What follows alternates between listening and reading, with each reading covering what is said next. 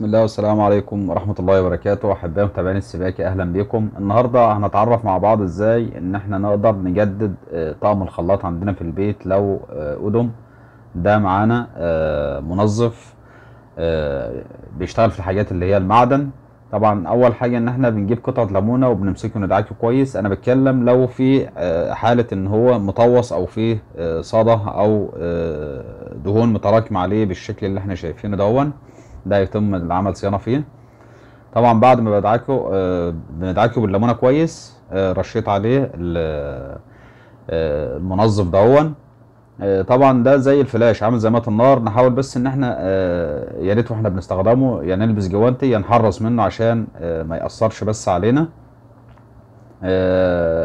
طبعا فلاش بيشتغل في تنظيف السيراميك والأعداد الصيني والحاجات دي ده بيكون أفضل في الخلاطات معانا. طبعا شايفين آه، الصدى عامل إزاي في طعم الخلاط. وهنشوف إزاي برضو بعد ما نخلصه. آه، طبعا إحنا لو في المنزل قطعة ليمونة هت إن شاء الله مش هحتاج منظف ولا حاجة.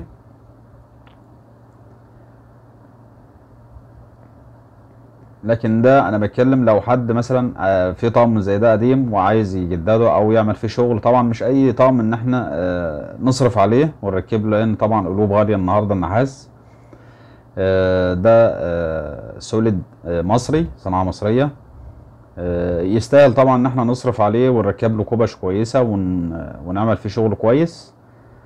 لأن في منه اللي هو آه، الاتا وفي منه أنواع بتبقى التقليد بتاعها بيبقى ضعيف جدا وبيحصل فيه صدى وبيبقى صعب إن آه، إن الواحد مثلا يصرف عليه. آه، الحاجة التانية إن ال- القلب بتاعه اللي هو التقليد ده بيركب قلب تلات اتمان وإحنا عارفين طبعا قلب التلات اتمان مهما كان ما بيكونش زي القلب الألماني يعني عمره بيكون قصير في الاستخدام مش كل يوم بقى هقعد اغير قلبه وكده. شايفين طبعا لمع إزاي بعد ما نضفناه أهم حاجة إن إحنا وإحنا بنستخدم المنظف دهون نسيبه شوية حوالي ربع ساعة وبعد كده بقطعة قماش ونمسكه ننضفه كويس. ما نحاولش حتى برضه بعد ما نرش عليه آه، المنظف ده إن إحنا آه، نمسكه بإيدينا يا جماعة. ده ال- اللي بيفسد المادة دي المية. يعني حتى ما نيجي نستخدمه حتى ال- بالنسبة للفلاش بتكون نفس ال- ال- الزجاجة دي ان هي عبارة عن مية نار مخففة. برضو ما نيجي نستخدمها حتى في القعدة أو عندنا في المنزل إن إحنا ننشف القعدة كويس يا جماعة. يعني ممكن حتة آه، اسفنج كده أو آه، المهم إن إحنا نحاول نشيل شوية المية اللي داخل القعدة جوه لأن الجزئية دي هي اللي بيبقى دايما آه، بتحتاج إن هي يحصل فيها نظافة. ف... فمش هينفع مع المية لأن المية هتفسد المفعول بتاعه. حتى لو هنرش في الأرضية عندنا في أرضية الحمام آه، ننشفها كويس من المية وبعد كده إيه آه، نرشه ونسيبه شوية آه، ربع ساعة ولا حاجة وبعد كده نغسله بالمية. طبعا حاولت برضو إن أنا انضف الصامولة على قد ما أقدر لأنها كانت متبهدلة قوي بصراحة وكان فيها صدى. آه، الحاجة التانية برضو ده معانا طبعا الكبشة برضو أنا، آه، نفس آه، المنظف برضو حطيته عليها. شايفين طبعا كانت مطوصة عاملة إزاي.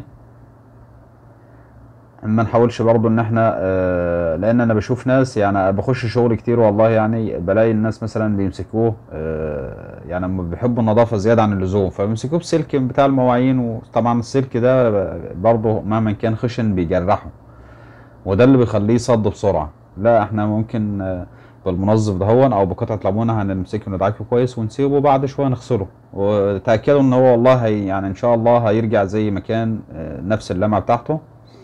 طبعا بعد ما بمسحته كده بحاول إن آه، إن إحنا ننضفه مثلا بنقطة ده معانا زيت باكم أو ممكن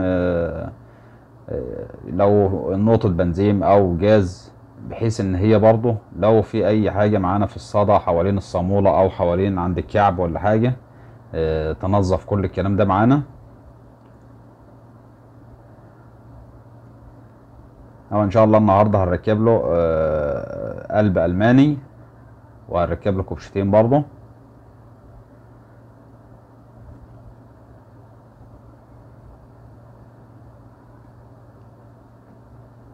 آه، الحاجة التانية إن عندنا الطقم دون طبعا غالي بصراحة يعني النهاردة يعني تمنه يعدي الألفين جنيه. آه، هنحاول نطلع برضو الجوان دون في جوان موجود معانا كاوتشه طبعا بقالها فترة كبيرة خالص والجوانات اللي هي بتبقى داخل الصاموله دي مع بعض فترة آه، بيحصل فيها تآكل أو بت... يعني بتبص نلاقيها إيه حصل فيها خشانة وبتتقطع بسرعة. يعني لو جينا نحل الخلاط ونركبه تاني لازم نغيرهم طبعا بنحاول نجيب حتة صنفرة نحطها مثلا في الفك ولا حاجة وندخلها داخل الكعب ال- النحاس معانا من الداخل عشان لو في أي آه، صدى معانا برضو إن هو ينضف معانا. طبعا الطقم ده كلها نحاس آه، حتى ال- ال- متنكل التنكيل اللي عليه بصراحة حاجة عالية خالص ممتاز يعني. آه، القنطرة العادية برضو هنحاول نركب له قنطرة hand mixer. وينفع إن هي تركب عليه مش شرط إن نركب القنطرة العادية.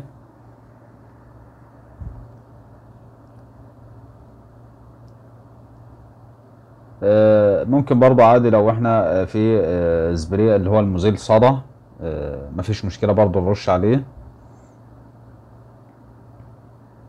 ده في الأماكن اللي هي موجود فيها صدى يا جماعة. لو أنا عندي برضه في المنزل استخدام يعني شايف إن هو كويس آه، بلاش يعني المواد الكيماوية كتير عشان برضه الحاجات دي مش كل الخلاط اللي بيتحمل آه، المواد الكيماوية الغسيل اللي هي زي ال- الفلاش والحاجات دي آه، في بيبقى التنكيل بتاعها بيبقى النيكل اللي عليها بيبقى ضعيف. فنبص نلاقيها بعد فترة حصل فيها آه، تآكل أو أو بيقشر معانا. فيبقى يعني خفيف مش ما, ما, نحاولش إيه نحط المواد دي كتير آه، في غسيل الحمام لأن حتى في غسيل معانا ال- الأرضية والحيطان والكلام ده بيجي برضو منه على ال- القطع المعدن معانا أو الخلاطات. فبقى يعني نحاول إيه نخلي برضو في حرص شوية.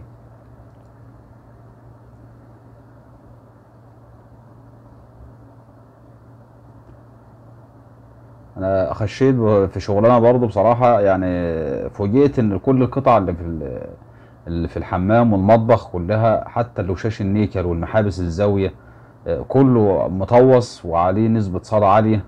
فشكيت في حاجة يعني حاجة غريبة مش معقولة يعني كل المنتجات دي يعني تعبانة أو حصل فيها الصدى دون ففوجئت فعلا من صاحب المنزل إن هو يعني في البيت عنده بيستخدموا المواد الكيماويه دي كتير خالص يعني بطريقة جامدة. وفعلا هي دي اللي عملت كده في في كل الايه الحاجات دي. لأن مش معظمها بيبقى نحاس صافي في بيبقى توتيا وفي نيكل وفي يعني بالنسبة للمحابس واللوشاش والحاجات دي. حتى اللوشاش ممكن تلاقيها مش استانلس أصلي فما بتتحملش ال- المواد دي.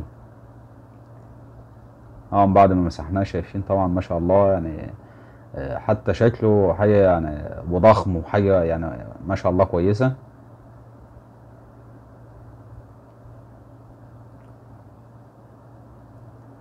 ده معانا القلب الألماني أهون نفس القلب اللي هو آه، بيبقى موجود معانا آه، المقاس يعني. بس مش هيكون زي القلب اللي كان جاي في الخلاط صراحة يعني لأن أنا سباك وبقول الصراحة لأن القطعة اللي بتيجي مع الخلاط آه، مهما كان اللي في السوق ما بيكونش برضه زي اللي بيجي مع الخلاط. شوف انت بتجيب الخلاط ممكن تقعد مثلا آه، سبع تمن سنين على ما بتبتدي إن أنت تغير له قلب وساعة ما بتبتدي إن أنت تغير له قلب من اللي موجود النهارده ما بيكملش مثلا تلات أربع شهور وتلاقيه عايز يتغير تاني. ده معانا كوبش طبعا ممكن نركب له كوبش عادية ممكن نركب له كوبش نحاس آه، دي برضه على حسب إيه؟ آه، صاحب الشغل أو صاحب طقم الخلاط يعني.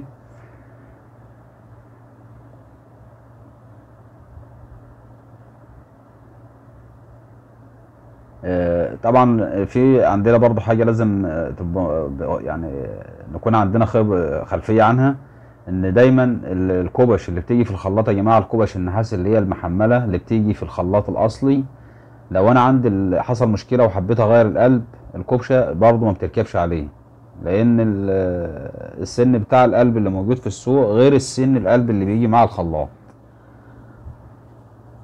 فاحنا عشان النهارده نعمل صيانة الخلاط زي كده ما ينفعش مثلا أقول لك أحط الكوبش القديمه اللي كانت فيه لا يبقى هتغير قلوب وتغير كوبش وده آه، الشغل الصح. لأن هتيجي تركب الكوبشة على القلب بتاع النهارده اللي موجود في السوق اللي أنت هتغيره هتبص تلاقيها بعد شوية آه، يا بوظت السن بتاع القلب معانا يا هي نعمت من جوه وهتفوت معانا. حتى لو المسمار برضو رابط آه، مش مش هيكون ليها عمر افتراضي يعني طويل معانا. برضو نحاول إن إحنا المسمارين نجيب مسمارين نحاس لأن المسمار ده مهم جدا لأنه ما بيصد طبعا بيبقى صعب فكه لأنه بيبقى داخل معانا الكوبشه أو داخل مقبض معانا.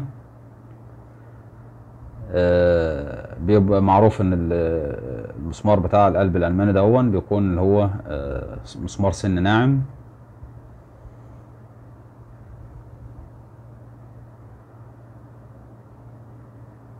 طبعا الصامولتين وال- والكعب بتاعهم آه، مفيش فيهم تبقى يعني كويسين تمام.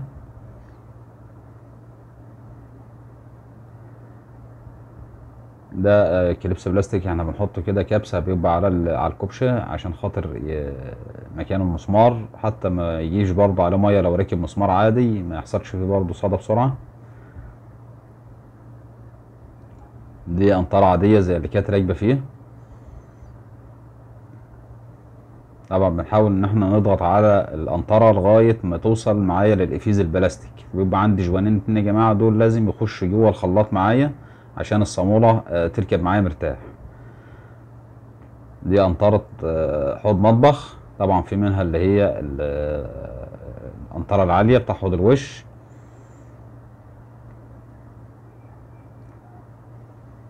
طبعا القنطرة ال hand mixer حاجة يعني ماشية مع الخلاط دهون ومدية منظر جميل مع الدوران اللي فيه دهون الدوران اللي هو عند القنطرة دهون.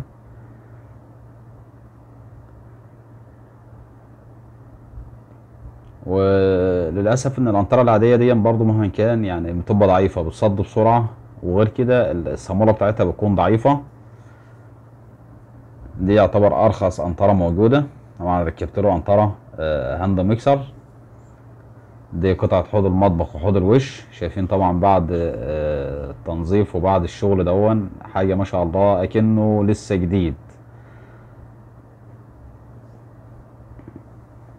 ده معانا الخلاط اللي أنا مصنعه. ده تلات أرباع معمول له سن داخلي للقلب إن أنا أقدر أغيره برضه غير الخلاط اللي كنت عامله اختراع الغلابة الأولاني إيه، كان القلب راكب على البلاستيك على طول. ده الحمد لله معمول له سن داخلي للكعب وللقلب من ناحية الاتنين. كلته بلاستيك حاجة ممتازة جدا و معلش كنت طولت عليكم يا جماعة النهارده ويا رب يكون عجبكم الفيديو وما تنسوش الإعجاب والاشتراك. والسلام عليكم ورحمة الله وبركاته.